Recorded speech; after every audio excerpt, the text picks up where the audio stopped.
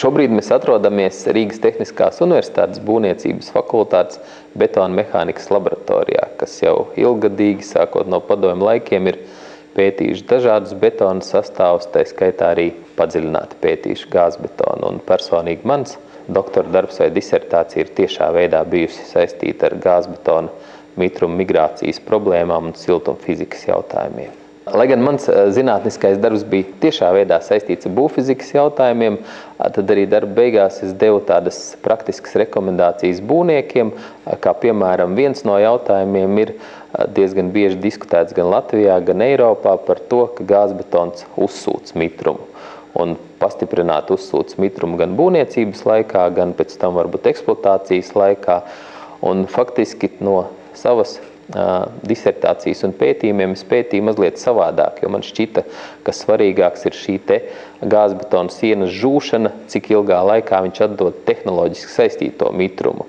Un tas pierādījās, ka šis tehnoloģiski saistītais mitrums tiek atdots pirmo divu līdz trīs eksploatācijas gadu laikā. Protams, atkarībā no tā, vai tā ēka tiek apkurināta jau pirmā gadā, vai tā apkura sākas tikai otrā gadā, kāds ir eksploatācijas režīms, bet kopumā tie secinājumi bija divu, trīs gadu laikā tas mitrums tiek atdots.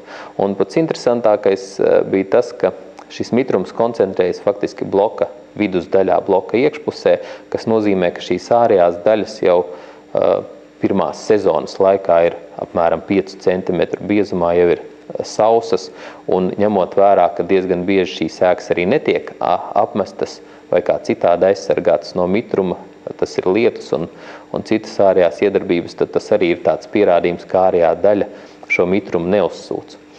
Un faktiski, ja arī, piemēram, būvniecības laikā mēs saskaramies ar tādu jautājumu, strādnieki dažreiz pārkāp tehnoloģiju nenosedz šo te mūri, kamēr viņš svaigi uzmūrēts, tad arī tā ārējā virsma nu, samirkst aptuveni. Mēs varam runāt par kādu vienu centimetru, ja ir intensīvas lietus, tad šī virsma samirkst, bet, kā es minēju, viņa arī diezgan ātri izžūst. Tātad šis mitrums, pateicoties gāzbetona šai slēgtajai poru struktūrai, viņš netiek nodots visā bloka biezumā viņš netiek iekšā dziļumā. Viņš samērcē tikai šo ārējo kārtu, kas atkal vēja saules iedarbībā tikpat ātri uh, izžūst. Uh, bet varētu ietekmēt šis te no grunts, no pamatiem nākošais mitrums, bet to normālā būvniecībā novērš ar horizontālo hidroizolāciju, un tad šī problēma tur nerodās blokos.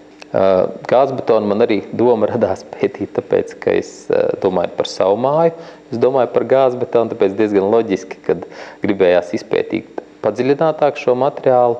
Otrs, kas, kā jau minēju, mēs atrodamies betona mehānikas laboratorijā, kas nozīmē, ka mums jau ir no padomu laikiem šīs iestrādes tieši gāzbetona tematikā.